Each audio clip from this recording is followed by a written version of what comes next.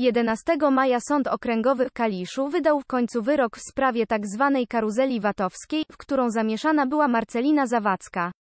Niedawna gwiazda TVP i MIS była oskarżona innymi o oszustwa skarbowe, fałszerstwo faktur i pranie brudnych pieniędzy. Zawadzka konsekwentnie przyznawała się tylko do dwóch pierwszych zarzutów, utrzymując, że o niczym innym nie wiedziała, bo korzystała z usług nieuczciwej księgowej.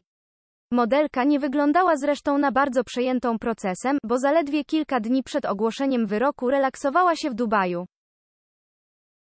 Najpierw straciłam pieniądze na transakcji z nieuczciwym kontrahentem, który miał sprzedać mi produkty modowe, a nigdy tego nie zrobił, chociaż pieniądze otrzymał, przekonywała Zawadzka w ubiegłym roku w rozmowie z portalem na temat. Potem dowiedziałam się, że obsługujące mnie biuro księgowe, dokumenty tejże feralnej transakcji, w sposób jak się okazało nieuprawniony, uwzględniło w księgach rachunkowych i deklaracjach podatkowych, czego ponoć robić nie wolno. Ja osobiście tymi rozliczeniami się nie zajmowałam, bo się po prostu na tym nie znam.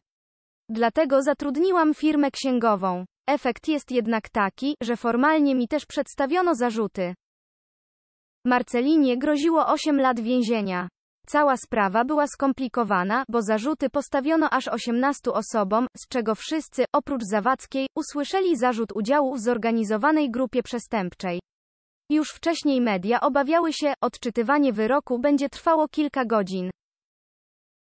W środę okazało się, że Zawadzka nie pójdzie za kraty, bo sąd wymierzył jej karę finansową, ma zapłacić skarbowi państwa 60 tysięcy złotych. Jak podaje Super Express, modelki sądzie nie było, więc nie wysłuchała wyroku osobiście.